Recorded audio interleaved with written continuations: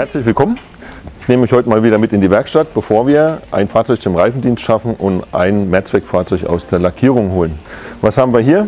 Hier haben wir ein TSFW, das gehört der Stadt Neuhaus, hier in Thüringen, einem Ortsteil Steinheit ist das zugeordnet. Hier haben wir Probleme mit dem Strom, das heißt, das Fahrzeug ist mehrfach nicht angesprungen. Ähm, irgendwas stimmt dann mit der Sicherungsgeschichte nicht, beziehungsweise mit den Batterien nicht. Der Thomas ist schon auf der Suche, den Fehler zu suchen. Ähm, hoffen wir mal das Beste, dass wir das Fahrzeug heute oder morgen wieder fit kriegen und die Einsatzbereitschaft wieder gewährleistet ist. Zum Tagesgeschäft gehört mittlerweile auch das Beheben von kleineren Notfällen an Einsatzfahrzeugen der Feuerwehr oder auch des Rettungsdienstes welche wir in das tägliche Arbeitsgeschehen hier mit einbauen, um schnellstmöglich die Fahrzeuge wieder auf die Bahn zu bringen. Hier, das Fahrzeug kennt ihr schon, das ist jetzt so in der Endmontage, das ist das 1186, was in die Nähe von Regensburg geht, nach Bayern. Ähm, da sind heute die Mitarbeiter dran, mit der Hoffnung, dass es heute auch fertig wird und dass wir es morgen zur Folierung schaffen können, also für die Außengestaltung. Also ein 1186 im 7,49 Tonnen Straßenfahrbereich, wie auch das 9 Tonnen Allradbereich ist ähm, das Fahrzeug, was wir am allerhäufigsten verkaufen, da es gerade für kleine und mittlere Feuerwehren eigentlich alles bietet, was man braucht. Man kann neun Leute mitnehmen, also eine Löschgruppe, man hat Löschwasser dabei, man hat für die allgemeine Hilfe alles dabei. Also eigentlich alles das, was kleine und mittlere Feuerwehren brauchen. Und deswegen bei uns das meistgekaufteste Fahrzeug. Hier haben wir, das Fahrzeug haben wir auch schon mal mit drauf gehabt, ein 1186. Das ist jetzt bei der Karosserie und Lackarbeit ziemlich fertig geworden. Wir sehen hier vorne fehlen noch die Einstiege links und rechts. Die sind so desolat im Zustand gewesen, dass wir die nicht wieder verbauen. Wir haben gerade bei Mercedes neue bestellt, die sind im Zulauf. Sobald die da sind, werden die noch montiert und dann geht das Fahrzeug in die Nutzfahrzeugwerkstatt, wo es um Motor, Getriebe, Getriebe und Bremsen geht.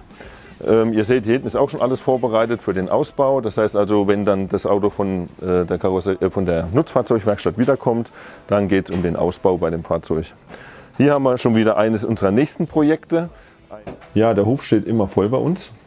Es kommen Autos und es gehen Fahrzeuge. Ein TLF 1625 aus dem Baujahr 2000. Das gehört der Stadt Blankenhain in Thüringen, das ist im Kreis Weimarer Land. Ähm, man sieht hier, wenn man mal genau hinschaut, dass das Fahrzeug gerade am Aufbau äh, rundherum ziemlich stark verschlissen ist. Manche Fahrzeuge sehen untenrum tatsächlich sehr spannend aus. Im Grundsatz aber ein vernünftiges Löschfahrzeug noch ist, oder Tanklöschfahrzeug in dem Fall. Und wir haben hier den Auftrag bekommen, dieses Fahrzeug genauso zu sanieren, wie wir unsere eigenen Fahrzeuge, die wir auch verkaufen, dann eben auch sanieren. Das heißt also, hier fangen wir jetzt an. Das Auto hatten wir jetzt schon bei der Nutzfahrzeugwerkstatt, die große Durchsicht ist gemacht. Jetzt bringen wir das Fahrzeug gleich zum Reifendienst, bekommt neue Reifen und dann kommt das Auto wieder zu uns zurück. Und dann wird es hier hinten, werden wir dann wahrscheinlich in späteren äh, Videos dann noch sehen, wird das Auto am Aufbau komplett zerlegt und alle schadhaften Teile, alles was mit Korrosion äh, behaftet ist, äh, wird dort rausgeschnitten, großflächig rausgeschnitten. Man sieht auch hier überall die Korrosion. Wenn man hier so rumschaut, äh, wird es nicht besser aufgrund dessen, dass dieses Fahrzeug Baujahr 2000 ist, die restliche Grundsubstanz, unabhängig von dem Gerätekoffer, gerade im unteren Bereich, äh, wirklich noch super ist, lohnt es sich hier mit umfangreichen Karosseriearbeiten diesen Koffer wieder zu rekonstruieren, um wieder instand zu setzen, um das Fahrzeug die nächsten 10, 15 Jahre nochmal auf die Bahn zu bringen. Das heißt, wenn man jetzt hier so sich den Aufbau anschaut und auch hier die, hier die Roststellen anschaut und hier hinten, das ist der Grund, warum das Fahrzeug jetzt hier gemacht werden soll. Ähm, es lohnt sich auf jeden Fall noch aufgrund dessen, dass es nicht so alt ist. Und wir versuchen jetzt das Beste da wieder rauszuholen. Lasst euch überraschen, was wir daraus machen. Äh, ich denke, das wird eine gute Sache.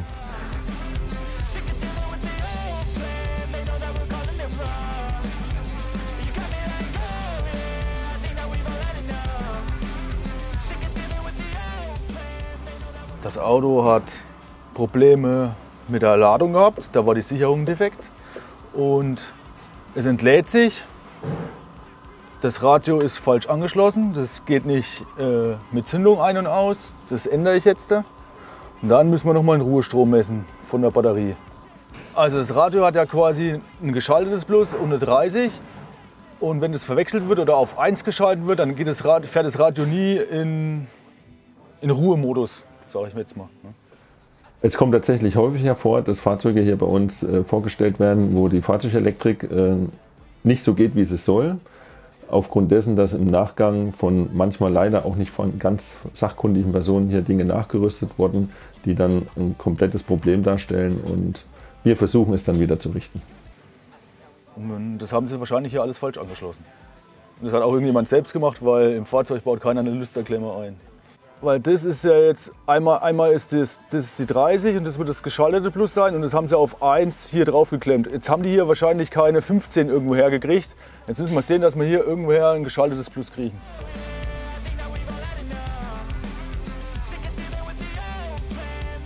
Was haben sie denn da noch angeschlossen? Ach, einen Spannungswandler. Ach genau, und da werden wir das Problem haben, weil der Spannungswandler ja nur an oder nicht an ist. Müssen wir was mit dem Relais bauen jetzt hier.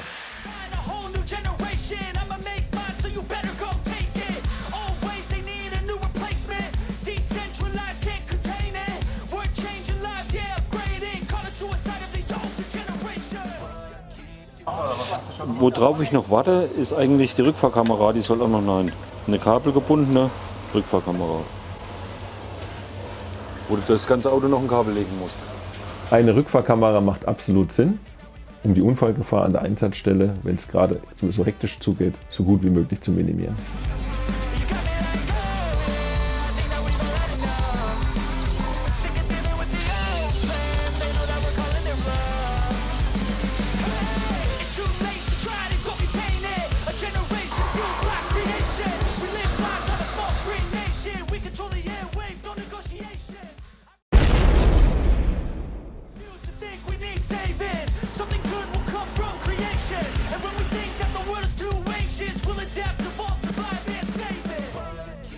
Ja, jetzt ist unser nächstes Projekt das Mehrzweckfahrzeug für den Ortsteil Erlau der Stadt Schleusing wieder zurückgekommen. Ich habe es gerade aus der Lackierung geholt. Ihr seht, das Fahrzeug wurde komplett neu lackiert in RAL 3000, Feuerrot. Aber nicht nur von außen, sondern auch bis in die Türen rein. Das heißt also, wir haben das äh, volle Programm genommen. Das ist wirklich alles das, was früher mal weiß war. Außer wo natürlich jetzt hier die Türverkleidung wieder rankommt. Ist alles neu lackiert. Zieht sich durch das ganze Fahrzeug so durch, auch innen drinne, hinten im Mannschaftsraum und im Gepäckraum. Die Teile, die man später noch sieht, sind alle neu lackiert in Rot. Und an dem MAN-TGE machen wir wirklich alles neu, sodass es ein Mehrzweckfahrzeug wird, wie die Kunden sich das wünschen und vorstellen angefangen vom Lack über Signalanlage, Heckausbau, Besprechungsraum, Funktechnik etc. Und jetzt zeige ich euch noch was ganz anderes. Es ist schon wieder was Neues gekommen. Hier haben wir ein Tanklöschfahrzeug der Stadt Heldburg. Also das Fahrzeug jetzt, das wird auch spannend. Da haben wir einiges dran zu tun. In Thüringen hier im Landkreis Hildburghausen. Das ist ein TLF 1625, Baujahr 2000, äh, Entschuldigung, nicht Baujahr 2000, sondern Baujahr 1994. Ähm, dieses Fahrzeug ist, hat 5000 Kilometer gerade drauf, muss auch noch ein paar Jahre fahren dort in der Feuerwehr, hat aber einige Korrosionsschäden. Das heißt also, man sieht es hier schon ganz äh, massiv, aber auch in den Radläufen, die entsprechenden Verstrebungen und so weiter sind wirklich sehr, sehr stark mit Korrosion behaftet und wurden auch vom TÜV äh, massiv bemängelt. Also ihr seht selber, bei diesem Fahrzeug ist es tatsächlich 5 vor 12, aber mit einer ordentlichen Karosseriearbeit kriegen wir das wieder gerettet und den TÜV-Mann wieder auf unsere Seite. Ähm, und hier haben wir jetzt einen Auftrag bekommen, das Fahrzeug auch wieder ähnlich wie wir alle anderen Fahrzeuge revidieren, komplett zu sanieren. Das heißt also auch hier wird das Fahrzeug äh, grundsaniert, gerade im Kofferaufbau hinten und dann werden noch Umfeldbeleuchtung angebaut, neue Signalanlage, Fernscheinwerfer etc. Das sind jetzt so Dinge, die jetzt hier gemacht werden. Auch das könnt ihr in den nächsten Videos, denke ich, noch mit begleiten.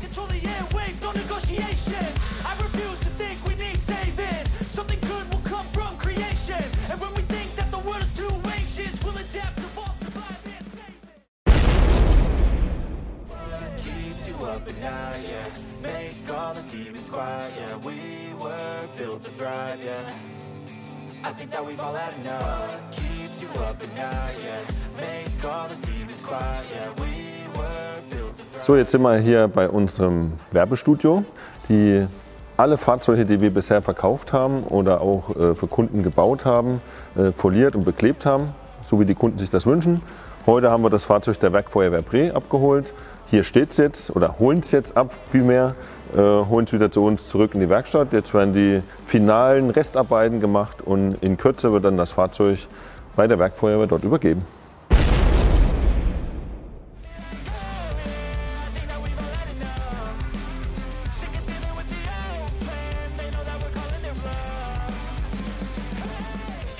Ja, an dem Tag waren wir viel unterwegs. Zunächst waren wir in unserer Folierungswerkstatt, äh, wo ein Fahrzeug fertig beklebt worden ist. Dieses haben wir dann weitergefahren zu unserer Nutzfahrzeugwerkstatt. Dort stand dann auch schon ein fertiges Fahrzeug von uns wieder, welches wir mit zurückgenommen haben. Und dann sind wir mit einem wieder fertigen Fahrzeug zum Kunden gefahren, was wir instand gesetzt haben, um es dort wieder ordentlich zu übergeben, den Kameraden zu sagen, was wir repariert haben Lieferschein durchgehen und alles, was dazugehört. Und von dort haben wir dann unser Werkstattersatzfahrzeug wieder mit zurückgenommen.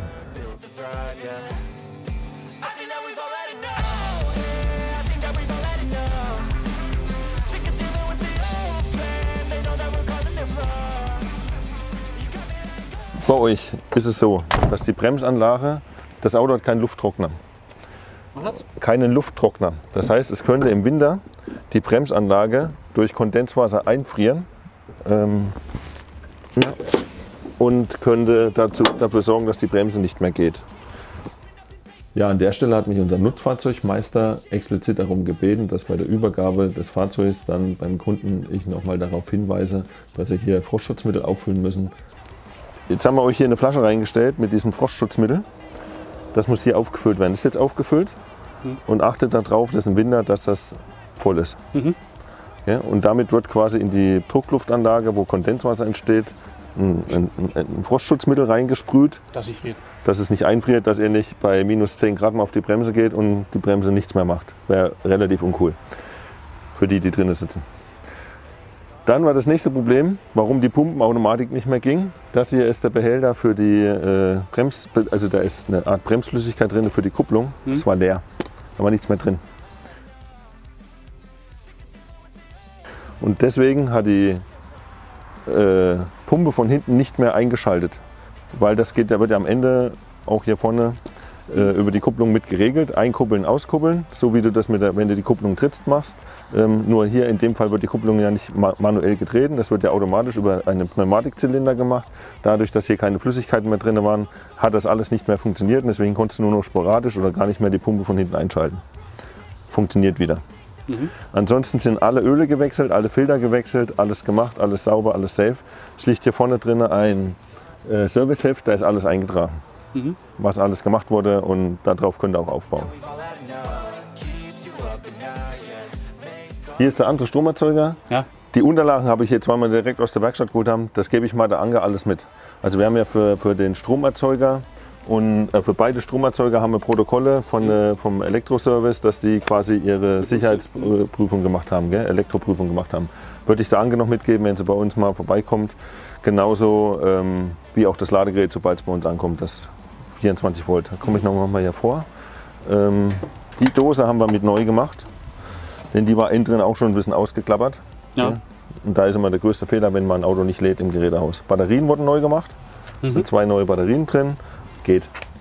Ja, wenn dann Fahrzeuge bei uns hier wirklich instand gesetzt werden, ist es so, dass wenn dann unsere Mitarbeiter wirklich erst richtig dran sind, dann manchmal auch Mängel noch sehen, die die Kameraden so noch nicht sehen konnten, dann sind wir natürlich da schnell am Telefon, informieren die Kameraden, die Verantwortlichen und versuchen das auch dann schnellstmöglich mit instand zu setzen. Dann es macht Sinn, wenn es einmal in der Werkstatt ist, das zu machen und nicht einen Mangel nicht zu sagen oder nicht instand zu setzen, denn wir reden ja tatsächlich von Einsatzfahrzeugen.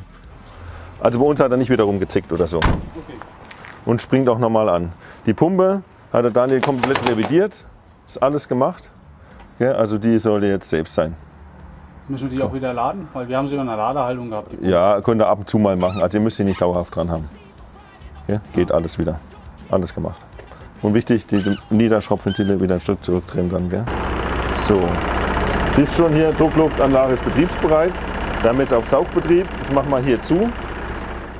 Wenn wir eine Pumpe instand gesetzt haben, revidiert haben, dann muss sie natürlich mit dem Kunden auch vor Ort dann ausprobiert und getestet werden, dass auch alles funktioniert. Und das machen wir in dem Fall.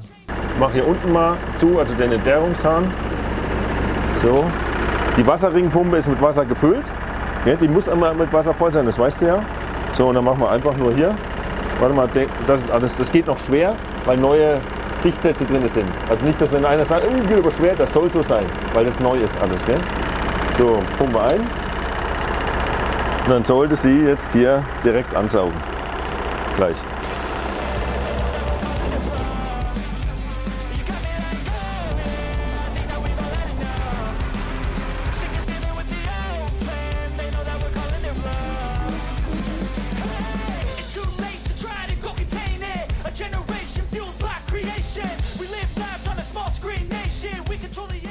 Dankeschön. Viel Spaß. Danke. Tschüss. Danke. Tschüss. Ja, heute geht Schlag auf Schlag. Jetzt eben haben wir noch das Fahrzeug der Firma Pre abgeholt aus der Beklebung. Jetzt eben haben wir schon wieder das Fahrzeug aus unserem Mastfeld getauscht. Das heißt also, das Fahrzeug, was wir in der Pflege hatten, Durchsicht, Pumpenrevision etc., haben wir jetzt gerade wieder zurückgetauscht, haben äh, die ganzen Sachen abgenommen mit dem verantwortlichen Ortsbrandmeister, dass es auch alles funktioniert und nach den Kundenwünschen auch erfüllt worden ist. Jetzt geht es zurück in die Firma. Dann besetzen wir gleich das nächste Fahrzeug, ein LF1612, welches ähm, präsentiert wird bei einer Feuerwehr in der Rhön. Da haben wir heute um 18 Uhr einen Termin mit dem Gemeinderat, mit dem Bürgermeister, mit den Verantwortlichen der Feuerwehr, um das Fahrzeug zu präsentieren, um zu schauen, ob es ins Gerätehaus passt ähm, und wie die ganzen Umstände dort sind. Und vielleicht wollen die Kameraden und die Gemeinde das Fahrzeug dann auch käuflich erwerben, nachdem wir das dann nochmal ordentlich in Stand gesetzt haben und äh, so nach unserer Art und Weise dann auch hergerichtet haben. Das ist jetzt der Plan für die nächsten drei Stunden. Das heißt, es wird nicht langweilig und heute tatsächlich ein echt langer Tag, weil vor 21 Uhr sehe ich mich dann noch nicht zu Hause. All had enough. Keeps you up at night, yeah. Make all the demons quiet, yeah. We.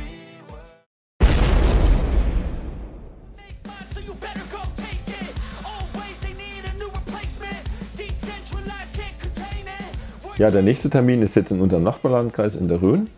Hier geht es um eine Stellprobe für ein Löschgruppenfahrzeug. Die Kameraden wissen schon eigentlich, was sie wollen, haben sich bei uns auch einige Fahrzeuge schon angeschaut. Jetzt geht es aber darum, ob es wirklich final auch ins Gerätehaus reinpasst. Da es hier um wirklich Zentimeter geht, habe ich angeboten, aufgrund dessen, dass auch gute Kunden bei uns sind, dass ich mich da reinsetze ins Fahrzeug und einfach mit einem in Frage kommenden Fahrzeug dorthin fahre, um einmal zu schauen, passt es wirklich rein, aufgrund dessen, dass die Einfahrt wirklich sehr kompliziert ist. Ähm, Und zum anderen, um das Fahrzeug auch gleich vorzustellen, dass die Verantwortlichen und auch die Feuerwehrleute sich das Fahrzeug anschauen können, um mal zu schauen, ob A, es passt oder B, auch das Fahrzeug zu der Feuerwehr passt. Das ist, kommt hin und wieder vor, dass wir auch solche Dinge anbieten und dann auch umsetzen. Das heißt, wir haben jetzt hier ein sogenanntes HLF stehen, Baujahr 99, ähm, ist in der Freiwilligen Feuerwehr Leipzig gelaufen, also in Sachsen. Dieses Fahrzeug ist erstmal, um von unten anzufangen, Allrad getrieben. Es hat eine Gruppenkabine mit allem, was dazugehört. Also das äh, ist jetzt auch noch nicht aufgearbeitet. So ist es jetzt erstmal hier. Äh, Und was man dann draus macht, steht auf einem anderen Blatt. So, wir haben also hier angefangen, ob man es jetzt braucht oder nicht.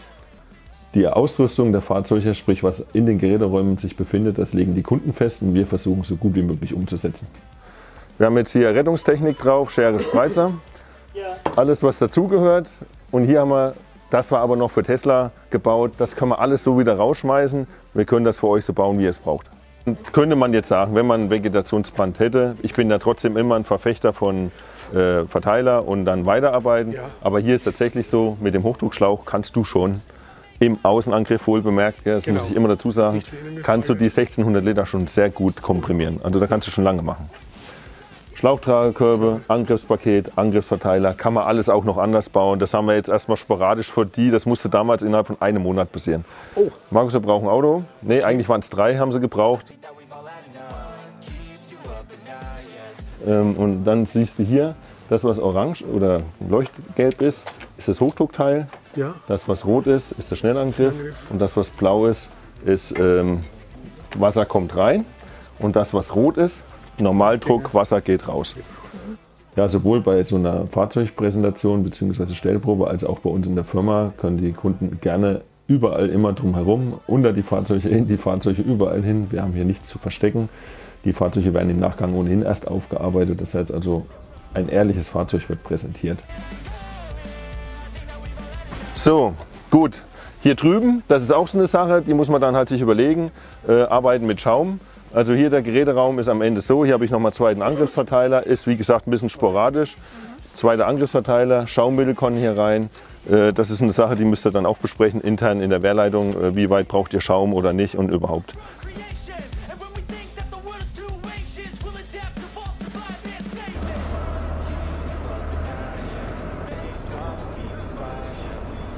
Ja, und dann ist es spannend geworden und man hat auch gemerkt, wie etwas Aufregung in der Luft lag, als ich dann den Rückwärtsgang eingelegt habe, um da wirklich ganz vorsichtig mal reinzufahren.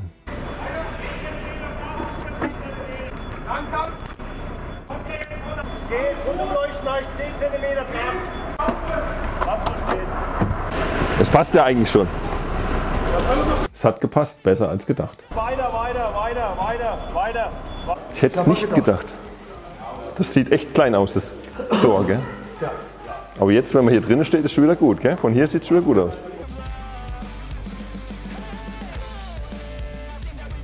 Wenn ihr jetzt hier, wenn ihr hinten stehst, sieht es wieder ganz entspannt aus.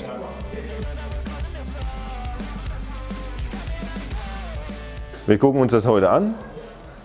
Ihr habt ein Bauchgefühl, erstmal ganz wichtig, ob euch das Auto von Haus aus zusagt oder nicht.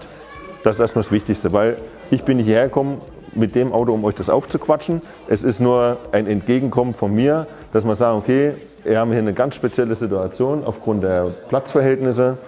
Ich komme hierher, wir probieren das aus, dass alle ihren Frieden auch damit haben, weil für ihn, für den Bürgermeister ist es schwierig, eine Unterschrift irgendwo draufzusetzen mit dem Nichtwissen. Kommen jetzt noch Kosten dazu, weil wir hier einen Stotz verändern müssen oder irgendwas. Ist, ist das so? Gell? Richtig, so. Und, und äh, diese Wagenmessungen, passt es jetzt rein oder nicht, wenn es hier gerade um, wie wir es ja gesehen haben, um 5 cm geht. Deswegen bin ich jetzt erstmal hergefahren. Gell? Das ist erstmal für mich wichtig, weil das gehört für mich zu einer guten Beratung dazu. Und ihr seid jetzt halt ganz aus der Welt und seid Kunden von uns und dann ist das für mich auch nicht zur Diskussion.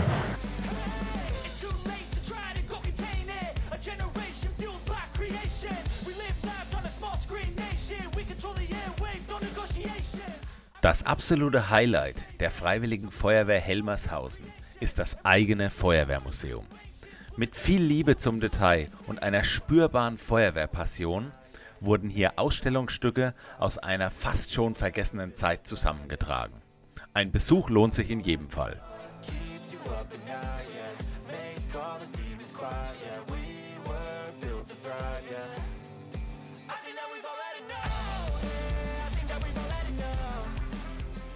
Mittlerweile ist es dunkel.